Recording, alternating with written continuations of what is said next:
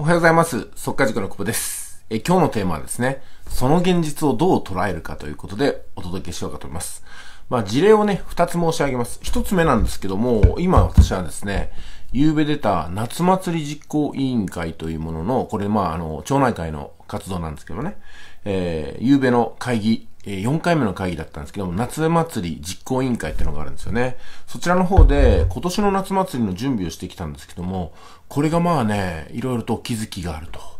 えー、まずはですね、いちいち集まらなくても、LINE アットとかメールとかで十分済むことを、まあ、歩いていって時間を合わせてみんなでこう集まるわけなんですよね。え、今私は日本全国、この、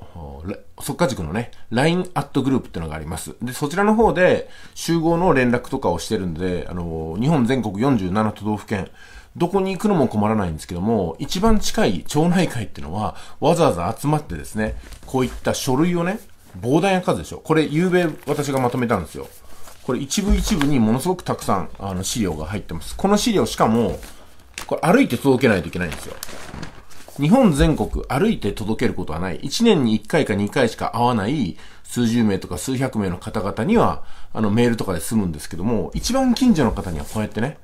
集まらなくてはならないということで、非常にね、えー、まあ、効率の悪さを感じます。ただですね、ここで何を感じるかなんですよ。この効率の悪さを、あ、なるほど、と。LINE とかインターネットとかメールを町内会の人たちに使っていただくようにすれば、むちゃくちゃ町内会ってやりやすくなるなということで、私はすごくね、希望を持ってるんですよね。まあそういう形でですね、地域活動っていうのは、とかく遅れがちです。えー、皆様がね、この Facebook を利用したりとか、メールとか LINE を使っているようなことを町内会に入らせれば、ものすごくやりやすくなるんではないかなと思ってますね。で、私はですね、町内会のホームページを作って、そこにアフィリエイトの広告を貼って、町内会費が自動的に毎月5万とか10万とかが集まるようにする、その仕組みをする、えノウハウを持ってますんで、そのように進めていこうかと思うんですよね。で、まあ、町内会も、あの、なんですかね、動画を搭載して、他の地域からも楽しめるようなホームページにすれば、広告収入は毎月50万、100万、300万と上がっていくんではないかなと思っております。そしてこの成功モデルを他の地域にも、どんどんどんどんね、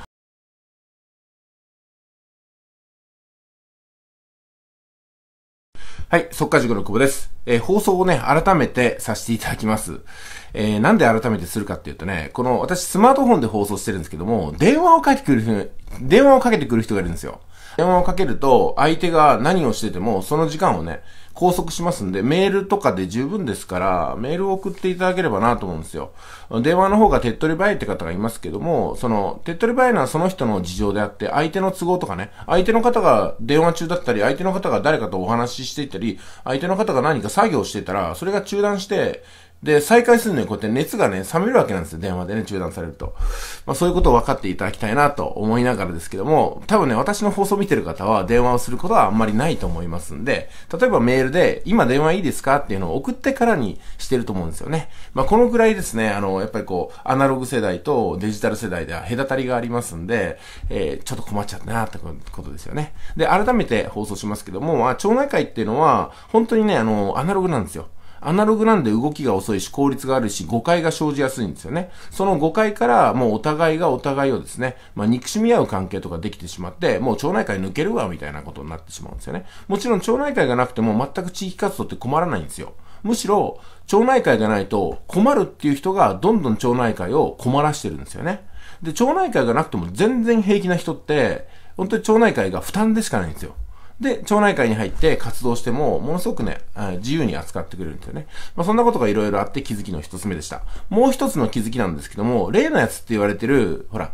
あの、お金がどんどんどんどん増えるスキームがありますよね。私の速稼塾に入ってる方は8割以上の方がこれに参加していただいて、私の直紹介ではもう950人以上の方がこの例のやつでね、お金をどんどんどんどん毎月毎月利益を受け取っているという形になっています。これは今後も続きます。今後も次ますけども、一つね、発表があるんですよ。これはとってもいい発表です。それは、振込手数料が3%ってものがかかってましたよね。えー、毎月毎月、えー、例えばね、10万円受け取ってる方っていうのは、振込手数料が3%差し引かれて、3000円が差し引かれて入金されてるはずです。99,700円。あ、違う。9万7000円か。あと、99,700円ですかね。3%差し引かれてますから、あ10万円に対しては3000円差し引かれてる形になると思いますけども、今後この振込手数料がですね、いいですか？すごく、すごくいい発表ですよ。5%に値上がりになります。ね。3%だったものが5%差し引かれるということになりますんで、2%、ね、あの、損するわけですよ。なんでこれがいい報告かっていうとね、この現象を損だと捉えたら損なんですよ。この現象が、あ、得だなと、すごくいい発表だなって捉えれるセンスが必要なんですよ。なぜかというとですね、この例のやつってのは、お金がどんどんどんどん増える仕組みですよ。皆さんご存知のように。もう5年以上この仕組みは続いていて、これからも続く見込みでした。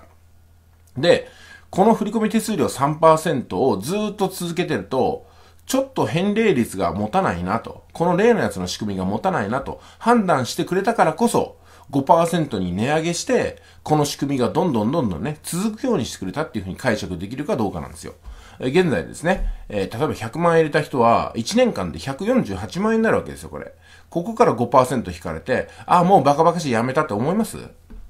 思わないですよね。私はね、さらに金額積んでいこうかと思いますけどもね。ここからは判断は皆さんそれぞれでございます。100万円を何もせずに148万円にして、そこから5%引かれるのが、もうね、やってらんない、バカバカしいと思うんだったら、うされないというかね、ここで終わるという選択も一つです。でも私はですね、今まで3%だったものが5%になるということは、この仕組みが維持されると判断して、ますますですね、この例のやつという仕組みに傾倒していこうかなと思うわけですよね。はい、素晴らしいお知らせだったと思いますけども、皆さんいかがお感じだったでしょうか？あそれではですね、今日も、